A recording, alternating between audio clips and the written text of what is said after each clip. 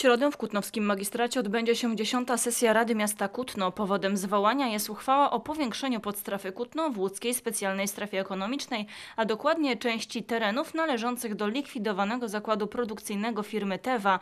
Zainteresowana tym obszarem jest działająca w Kutnie od 15 lat firma Frezenius Kabi. W kolejnym punkcie obrad radni podejmą uchwałę w sprawie wyrażenia zgody na sprzedaż nieruchomości na Sklęczkach. Początek obrad o godzinie 12.